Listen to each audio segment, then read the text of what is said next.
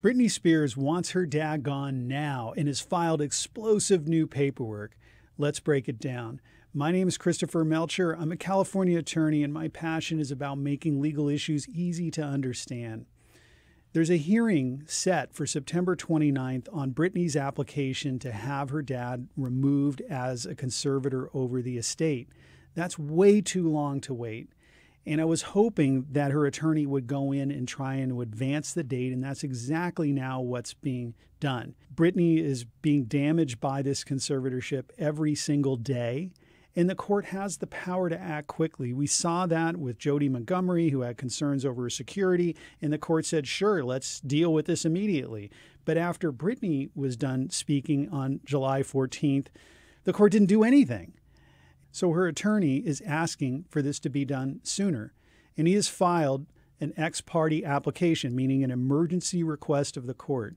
It's non appearance, meaning that there's not going to be anyone showing up in court. It'll be decided on the paperwork. And he wants this September 29th hearing date moved to August 23.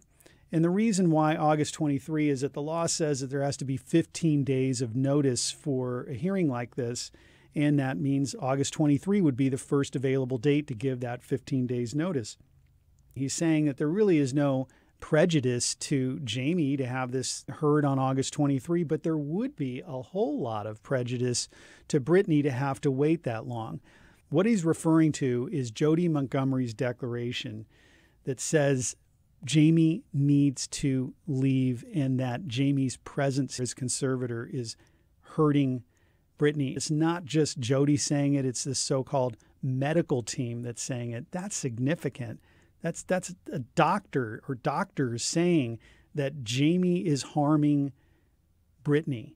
And court, you need to take that serious. You need to absolutely act on that and not just wait around and do it on September 29th. The other thing that I really like about this is that he is putting Jamie on notice that Jamie could be responsible for all the attorney's fees. Jamie's incurring fees and wanting the estate to pay for it to oppose what Britney wants. It's against her best interest. So that's improper for him to ask for those fees.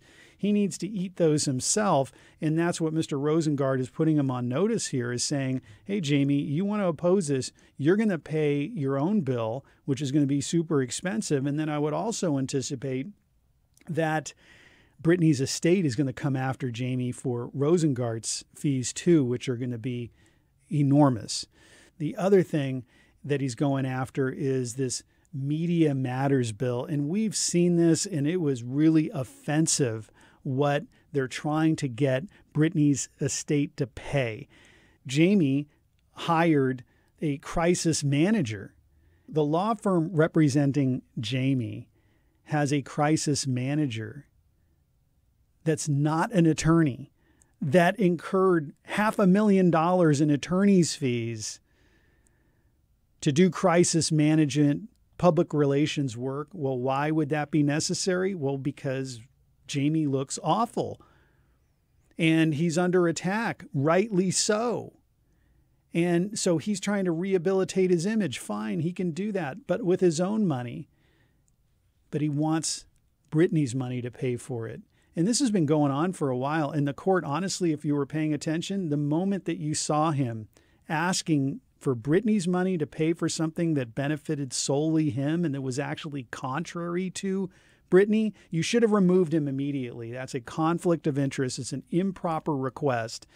Another thing that we're just learning about is that Britney had asked funding for her vacation. I assume we're talking about the Hawaii trip. Jamie opposed it. That is really surprising. This is her money, her life. She wants to take a vacation, and that her dad would be so controlling to say, No, you can't spend that money, but it's okay to spend half a million dollars of her money to rehabilitate his broken image.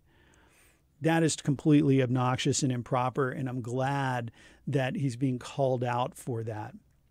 Finally, we're seeing an attack on money spent for the former business manager at TriStar. what's being alleged as an example of something that Mr. Rosengart said he's found in the brief time that he's been counsel is that gross overpayment of Miss Spears' former business manager, allowing it to extract exorbitant sums of money from the estate without her consent. That's the allegation that's being made. Mr. Rosengart will have to bring evidence to support that allegation, and he can do so before the hearing. Hey, I hope you're getting value out of these videos. I'm having a ton of fun making them, and I appreciate your support, and I'll see you next time.